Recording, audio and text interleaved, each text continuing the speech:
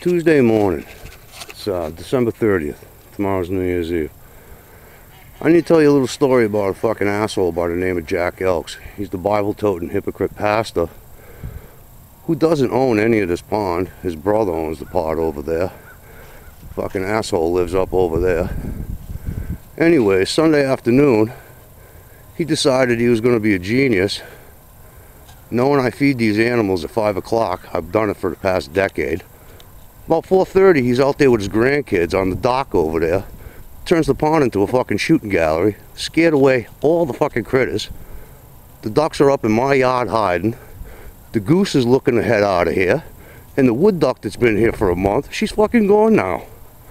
So I ask you, what lessons is this fucking preacher teaching his grandkids?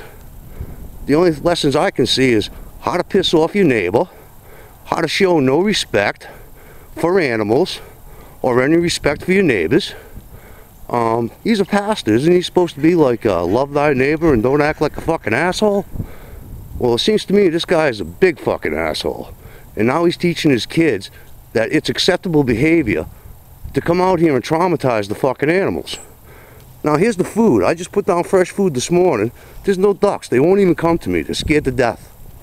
There's the food I laid down yesterday. And there's the food over there I tried to put out Sunday night. As you can see, it's not eaten. My ducks are traumatized. My dogs in the house were fucking traumatized. And my PTSD is through the fucking roof. I'm about ready to shoot this fucking prick myself.